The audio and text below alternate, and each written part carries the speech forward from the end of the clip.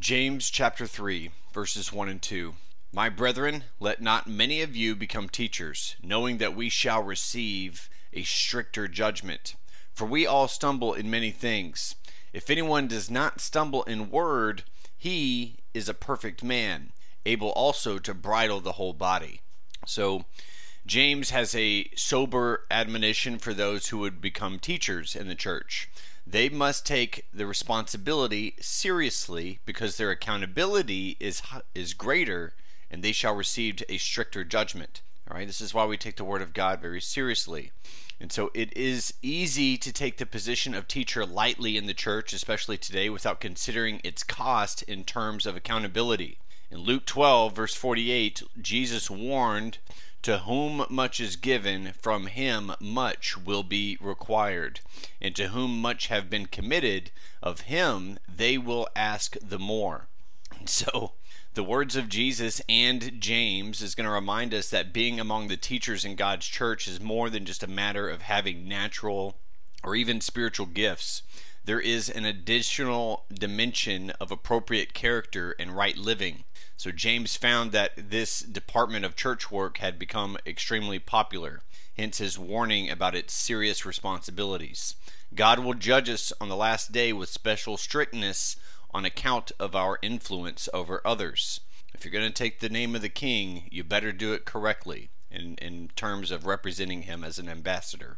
And so, therefore, teachers were both tested more and would be judged more strictly. And so their case is going to be different. You know, they shall receive greater condemnation than common sinners. Uh, they have not only sinned in thrusting themselves into that office which God has never called them, but through their insufficiency, the flocks over whom they have assumed the mastery perish for the lack of knowledge, and their blood will God require at the watchman's hand. These are those non believers that are out there preaching false doctrines, cults, and whatnot, leading many people astray and doing a lot of damage as they do it. And so the comparative adjective greater or stricter implies degrees of treatment at the judgment seat. And so the greater accountability of teachers is especially sobering in light of our common weaknesses. After all, we all stumble in many things. The ancient Greek word translated stumble does not imply a fatal fall, but something that trips us up and hinders our spiritual progress. So James included himself among those who stumble, yet he did not excuse his or our stumbling. We know that we all stumble, but we should all press on to a better walk with the Lord, marked by less stumbling. And this is another of the several statements in the Bible which tell us that all men sin. Uh, also including 1 Kings chapter 8 verse 46, which says, "When they sin against you, for there is no one who does not sin." Job 14 verse 4, "Who can bring a clean thing out of an unclean? No one." Proverbs 20, verse 9. Who can say, I've made my heart clean, I am pure from my sin? Ecclesiastes 7, verse 20. For there is not a just man on earth who does good and does not sin.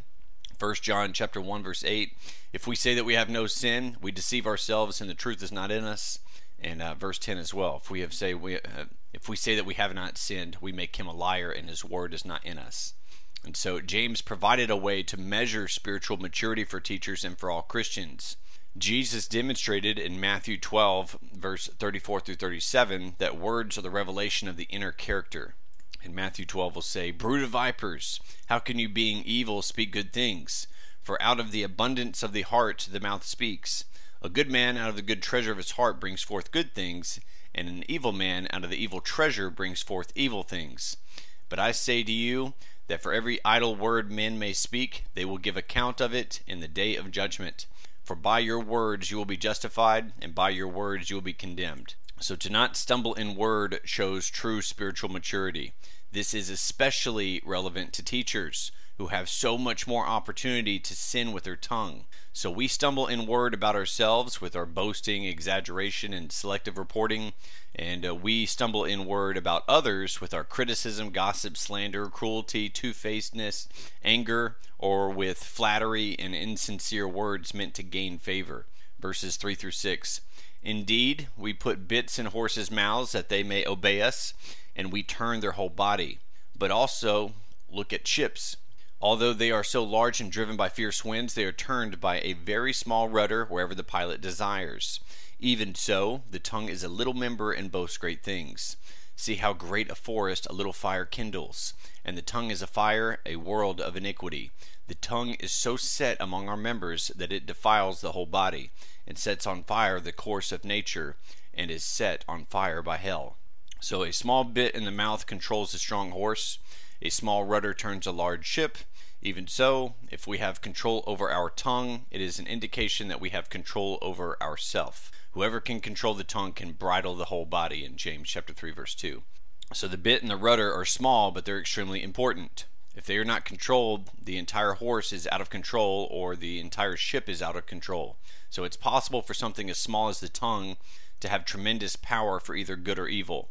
And you don't solve the problem of an unruly horse by keeping it in a barn, or the problem of a hard to steer ship by keeping it tied to the dock. In the same way, even a vow of silence is not the ultimate answer for the misuse of our tongue. And so, if the tongue is like the bit in the mouth of a horse or rudder on a ship, it leaves us with the question who or what holds the reins, or who or what directs the rudder. Some people have no hand on the reins or rudder, and therefore say whatever comes to mind. Others direct their tongue from their emotions or from aspects of their carnal nature. And James points us towards having the Spirit of God working through the new man, setting directing hands on the reins and rudder that is our tongue. And so the fire of the tongue has been used to burn many. Children are told, you know, sticks and stones may break my bones, but words can never hurt me. But that child's rhyme isn't really true. The bitter pain of a word spoken against us can hurt us for a lifetime long after a broken bone has healed. So, what others say to us and what we say to others can last a long time, for good and for evil.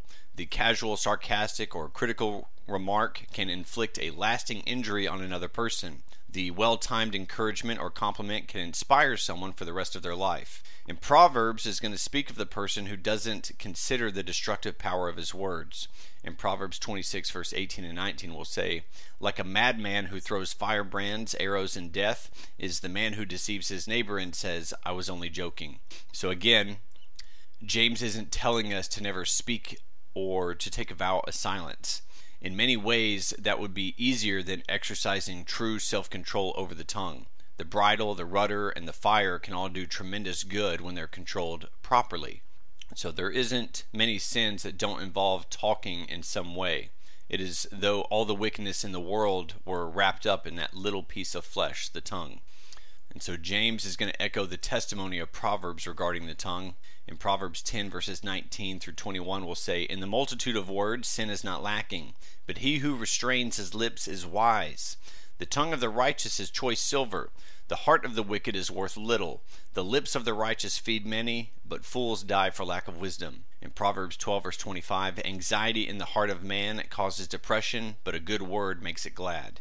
Proverbs 16, verse 24 Pleasant words are like a honeycomb, sweetness to the soul and health to the bones. Proverbs 18, verse 21 Death and life are in the power of the tongue, and those who love it will eat its fruit. Verse 7 and 8 For every kind of beast and bird, of reptile and creature of the sea, is tamed and has been tamed by mankind. But no man can tame the tongue, it is an unruly evil full of deadly poison. So a wild animal can be more easily tamed than the tongue. In fact, James tells us that no man can tame the tongue. So the human spirit has incredible capacity for sacrifice and self control. Sometimes we hear a desperate survival story of someone who cuts off their own leg to get free from a tree that has fallen on them, and then they make it to the hospital for medical treatment. Yet that same man can't tame the tongue perfectly. And so, nevertheless, the tongue can be brought under the power and the control of the Holy Spirit. We might say that only God Himself is mightier than the human tongue. And so, the untamable tongue is even more dangerous when we consider the deadly poison it can deliver. Verse 9 through 12. With it we bless our God and Father, and with it we curse men who have been made in the similitude of God. Out of the same mouth proceed blessing and cursing. My brethren, these things ought not to be so. Does a spring send forth fresh water and bitter from the same opening? Can a fig tree, my brethren, bear olives, or a grapevine bear figs? Figs. Thus no spring yields both salt water and fresh. So the tongue can be used for the highest calling to bless our God, and it can be used for the lowest evil to curse men. In those who are born again, it shouldn't be said that out of the same mouth proceeds blessing and cursings. So Peter's tongue confessed Jesus as the Messiah, the Son of the living God, and denied Jesus with curses. John said, "Little children, love one another," and he said he wanted, uh, and he wanted to say the word to bring down fire from heaven upon the Samaritan village. So our speech should be consistently glorifying to God. We shouldn't use one vocabulary or one tone of speaking at church and a different one at home or on the job. So, like a spring of water, our mouth shouldn't send forth fresh and bitter from the same opening. So, James is going to point to the ultimate impossibility of such contradiction. Uh, if bad fruit and bitter water continue to come forth, it means that there is no contradiction. The tree is bad and the spring is bad. And so Jesus taught in Matthew 12, verse 34 through 37, that a man's words are a reliable revelation of his inner character. So what we say can indicate what we are. In Matthew 12, we'll say, you know, brood of vipers, how can you, being evil, speak good things? For out of the abundance of the heart and mouth speaks. Right? A good man out of the good treasure of his heart brings forth good things, and an evil man out of the evil treasure brings forth evil things. And so, unless you are, are uh, unless you are regenerated, born from above by a new and heavenly birth, you're not Christians. Whatever you may be called, and you cannot produce the fruit which is acceptable to God, any more than a fig tree can produce olive berries. You can label a fig tree olive tree, and that will not make it an olive tree. You can trim a tree to look like an olive tree, but that won't make it an olive tree. You can treat a fig tree like an olive tree, but that won't make it an olive tree. You can surround a fig tree with many olive trees, and that will not make it an olive tree. And you can transplant that fig tree to the Mount of Olives, and that would not make it an olive tree either. Right, verse 13. Who is wise and understanding among you? Let him show by good conduct that his works are done in the meekness of wisdom. So, at the beginning of chapter 3, the author addressed those who were teachers and wanted to be teachers among Christians. There, he told such teachers how they should talk. Here, he speaks about how they should live. And so, James is going to address the person who is wise and understanding. The word sophos, or wise, was a technical term among the Jews for the teacher, scribe, and rabbi. It appears that the author is still speaking to those who would be teachers in James chapter 3 verse 1. And so here it is not what they say he's concerned with, but rather how they live. So wisdom is not mere head knowledge. Real wisdom and understanding is going to show in our lives by our good conduct. So in this sense, Wisdom and understanding are like faith, they're invisible inner qualities. If a person considers himself to be wise or understanding, then it is fair to expect that this invisible inner quality would show itself in regular life. Here, James told us how to judge if a person really is wise and understanding. So, true wisdom is also evident by its meek manner. Those who do their good works in a way designed to bring attention to themselves show that they lack true wisdom. So on meekness, uh, prautes is gentleness, but not a passive gentleness growing out of weakness or resignation. It is an active attitude of deliberate acceptance. Verse 14 through 16. But if you have bitter envy and self seeking in your hearts, do not boast and lie against the truth. This wisdom does not descend from above, but is earthly, sensual, and demonic. For where envy and self seeking exist, confusion and every evil thing are there. So these uh, bitter envy and self-seeking, uh, these are opposites of the meekness of wisdom that's mentioned in verse 13. These words actually refer to someone who has a critical, contentious, and fight-provoking manner. Uh, it is out of keeping with temper, with bitter jealousy and rivalry, or a party spirit, selfish ambition, or factiousness. All right, do not pride yourselves on that, on the intensity and harsh zeal which lead to such unscrupulous partisanship, which are sometimes justified as loyalty to the truth. So, anyone who shows bitter envy and self seeking should not deceive anyone, especially themselves, about how wise they are.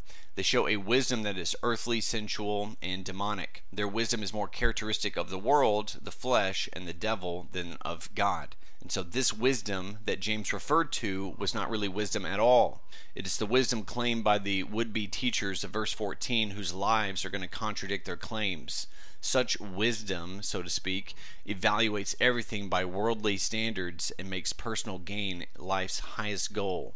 So, earthly is like having this life only in view, sensual is an animal having. Uh, for its object the gratification of the passions and animal propensities, and demonic, uh, demon inspired by demons and maintained in the soul by their indwelling influence.